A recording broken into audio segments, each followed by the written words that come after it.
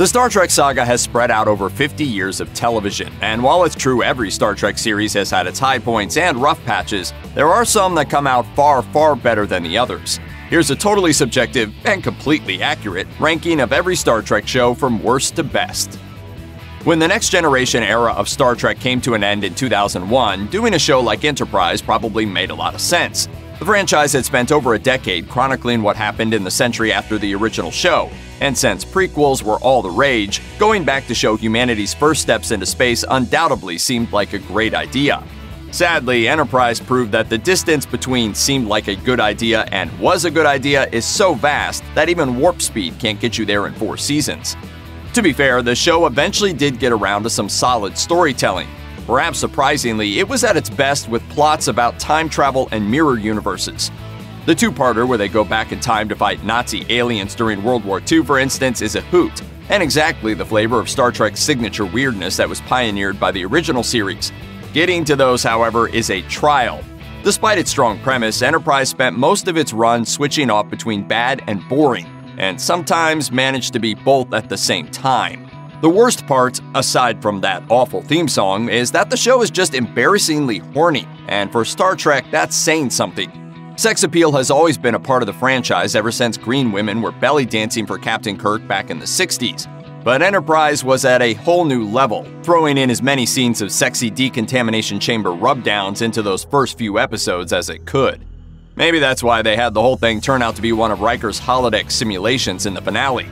If anyone's going to program in some uncomfortable bathing scenes into a historical document, it's that dude.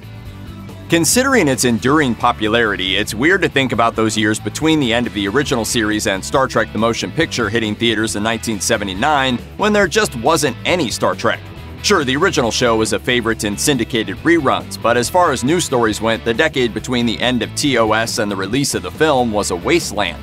Except, of course, for the 22 episode run of what would eventually be known as Star Trek the Animated Series. It got the green light thanks to Trek's post cancellation success in reruns, and for all its flaws, it did some pretty interesting things. For one thing, it reunited all of the show's cast, giving it a sense of authenticity cartoon spin offs usually lack. Even the one major cast member who wasn't brought back led to something interesting. Poor Walter Koenig didn't make the cut, but Chekov was replaced by a handful of alien helmsmen whose designs would have been way too expensive to pull off in live action. There are even some good stories thrown in there. More Tribbles, More Troubles is a great spin on one of the most popular episodes of TOS, and while it's not perfect, Yesteryear gave the viewers who were demanding more details of Spock's childhood exactly what they wanted. Unfortunately, on the whole, it's just not very good. The animation is substandard even for the early 70s, clocking in somewhere south of Scooby Doo. The shortcuts, like giving the crew invisible force field spacesuits rather than designing a second character model, are obvious and off putting even for a kid. That cheap, repetitive animation also makes the 24 minute animated stories feel like they drag, even though they're half the length of a TOS episode. The best thing you can say about Star Trek the Animated Series is that it's technically Star Trek, which is slightly better than having no Trek at all. Short Treks feels like an idea that should have happened long before Star Trek finished out its first 50 years. If shows like Deep Space Nine have taught us anything, it's that the wider universe can be just as interesting as the missions seeking out all those new lives and civilizations. And yet, with all the Trek shows, novels, and comics that span the first half century, Short Treks was the first one explicitly meant to explore the universe outside of our main characters. In that respect, it captures one of the best things about the franchise. It can be something different in every episode, from tense drama and allegory to full on comedy. Let me ask you, are they intelligent? It's hard to say. Uh, as you can see, they, they don't have a face.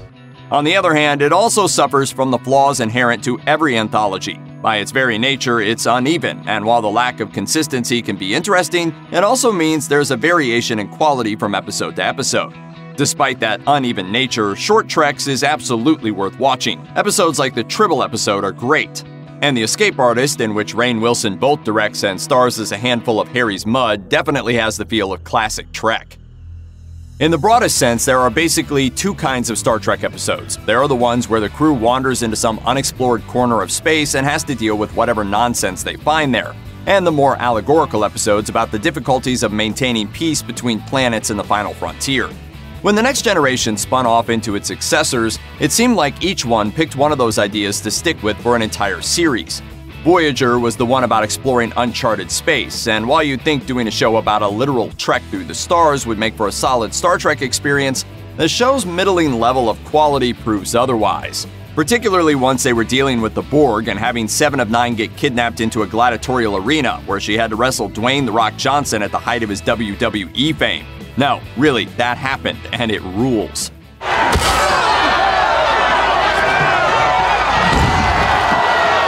Sadly, they didn't get around to People's Eyebrow until season 6. The dull plotting trip to get there is barely worth it. Setting a Star Trek show in the same general time period as the original Star Trek seems like the height of hubris, especially if you're throwing in characters like Christopher Pike and Harry Mudd, and riffing on concepts like the Mirror Universe. You're not only setting yourself up to be compared to the OG Star Trek, but to people's memories of the show and the very idea of it as a cornerstone of something they love.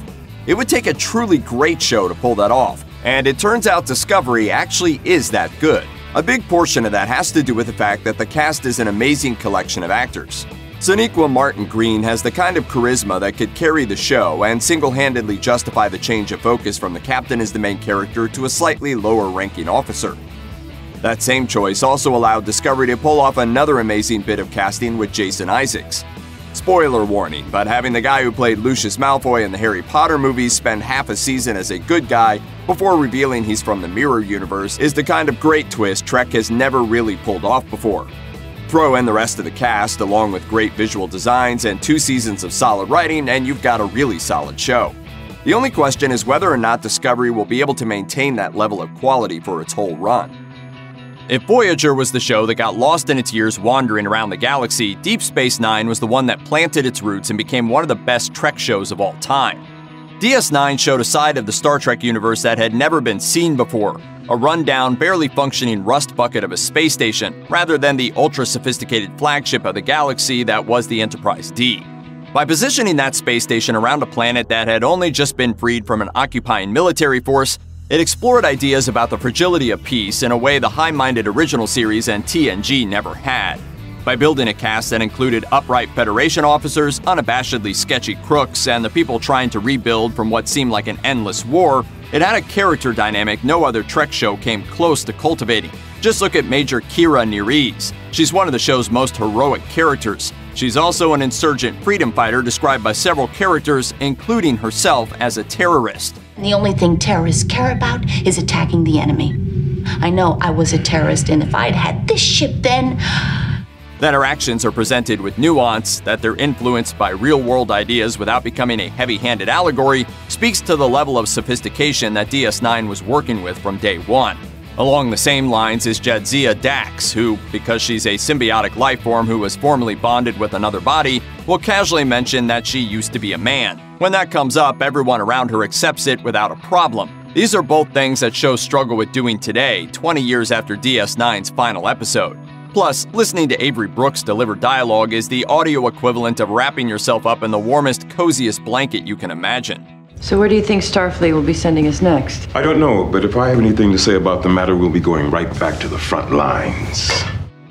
Looking back from the distant future of the 21st century, it's sometimes hard to believe that Star Trek's original run only lasted three seasons. Seriously, even Enterprise got four, but what a three season run it was. Sure, there are a handful of real stinkers in Trek's original run. Spock's brain is easily one of the worst pieces of the entire franchise, but they're more than balanced out by the good stuff.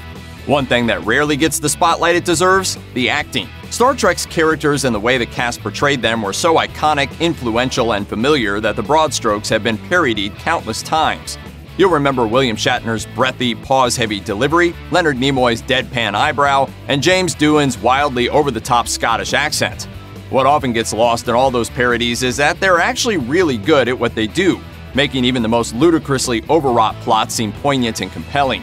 There's a reason the show got the fan base that it did and defined an entire side of science fiction for the next 50 years. In all honesty, Star Trek The Next Generation probably shouldn't have made it as far as it did. Of its seven season run, the first two are chock full of episodes that are almost unbearably bad. That's partly because the second happened during a writer's strike that led to the show digging through rejected scripts from the 70s for a reboot that never happened.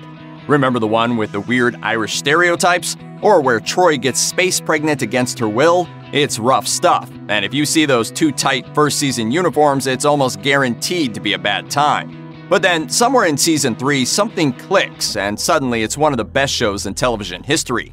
In a lot of ways, it's like the writing and production finally caught up to the cast. The one thing the show had going for it since day one, and the thing that really carried early season high spots like Q Who and The Measure of a Man, was a truly incredible roster of actors that were all committed to making that show work. Your Honor, Starfleet was founded to seek out new life. Well, there it sits. Without Patrick Stewart delivering a tour de force performance as Picard, or Brent Spiner doing his level best to make Data's twee robotic nonsense seem charming instead of unforgivably annoying, the show never would have gotten the chance to become great. Episodes like The Best of Both Worlds and Chain of Command set new watermarks for how good Trek could be at compelling, thrilling drama. You called me Picard. What are the Federation's defense plans for Minos Corva? There are four lights. At the same time, Rascals and Tapestry proved that TNG could take a seemingly silly premise and pull it off with comedy that was fresh and fun. The end result was a run of episodes where the good didn't just outweigh the bad, it obliterated it. Seriously, this is a show that includes Sub Rosa, an episode where Beverly Crusher got busy with a ghost that used to hook up with her grandma, and it still has enough all time great television that it averages out as the best Trek series of all time. Check out one of our newest videos right here. Plus, even more grunge videos about your favorite stuff are coming soon.